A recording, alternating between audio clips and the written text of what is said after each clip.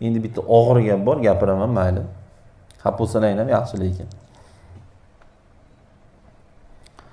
Nos sigaret chekadigan odam boru judayam yomon hidlanadi o'zi bilmaydiyu. Chala yonib o'chib qolgan o'tinni hidi keladi. To'g'risi.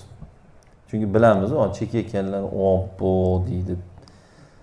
Yomon ko'rmayman man bor haqiqatni aytyapman. Nos chekayotgan odamni hidini topib bo'lmaydi uni o'xshatib bo'lmaydi uni o'xshatadigan hit yo'q uni.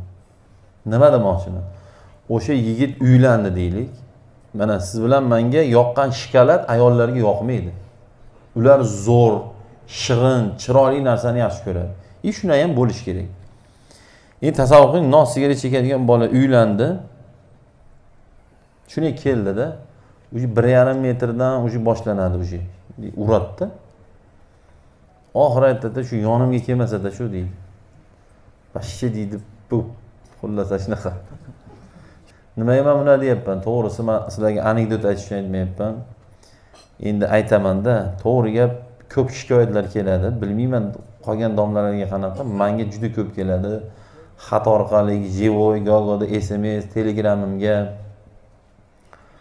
shu ayolidan nima qilsam bo'ladi eridan shikoyatlar shulardan kelib chiqib man maviza qilamanda toyingi shu yerda eshitib bolalar bir amal qilib non sigaretni o'rniga zumni cho'tka pasta olib bir oyda o'n pachka sigaret cheksangiz yuz ellik ming bo'lsa kerak adashmasam o'n oyda bir yarim million bo'ladi. Hozir avvalo xudo bilmadimu to'qson to'qqiz foiz aniq bir yarim millionlik atir ishlatadigan erkak ichimizda yo'q bo'lsa kerak. To'g'ri gap. Masalan shanel degan zo'r atir bor bir yuz o'n ikki dollarga beradi. Zo'r atir. Nima demoqchiman? O'sha sigaret zormondani o'rniga pulni to'plab o'sha yuz grammligini olsangiz besh oy to'rt oy olti oyga yetadi.